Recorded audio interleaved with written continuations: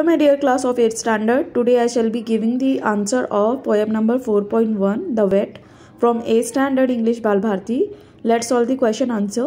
Vet का मतलब होता है जो जानवरों के डॉक्टर होते हैं उनको वेट कहा जाता है तो यहाँ पर फ़र्स्ट क्वेश्चन आप, आपका where do we find all types of wild animals in urban areas second question है do you have a pet अगर आपके पास है तो यस लिखना है अगर नहीं है तो I don't have a pet ठीक है third one how do we help animals and birds okay fourth one है आपका how do we realize that animals are not feeling well question five who gives medicine और treatment to sick animals and birds answer आपको आपकी screen पर मिल जाएगा, मैं answer read out नहीं करनी हूँ, नहीं तो वीडियो बहुत बड़ी हो जाएगी।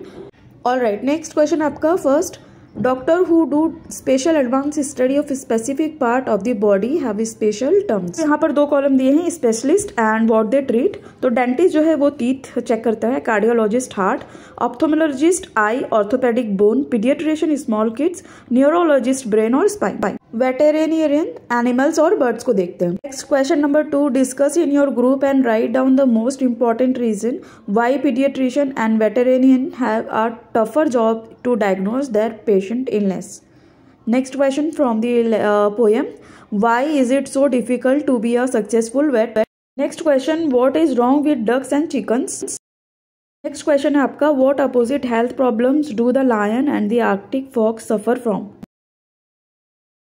Next question Why have the giraffes got stiff necks? Next question Why does the poet call the vet omniscient? Next question What is the poet's advice to you? Do you think he means it? Alright, आपका next question है English workshop से First question है आपका What is the rhyme scheme of stanza 1 to 3 and the last two stanzas? Question 2. Write any five illness of the animals in the poem that you find most amusing or laughable. Question number 3rd A. Out of all animals of birds and animals given in the poem, pick out four names that are similar in English as well as Hindi, Marathi or your mother tongue. तो हम जो है giraffe को जिराफी कहते हैं beer cobra और kangaroo को इसी नाम से जानते हैं ना इंग्लिश चाहे मराठी या हिंदी में तो ऐसे नाम आपको फोर फाइंड आउट करके लिखना है Okay, next question. Third B. Write four reasons why animals in a zoo suffer more than those who live free in the wild. Question 4. Think deeply and write. Is the poet really discouraging the youth from uh, becoming vets? Explain your response. Okay, next question 5. Uh, find out from a vet or from a website what precaution a vet has to take when he or she is called to treat wild dangerous animals.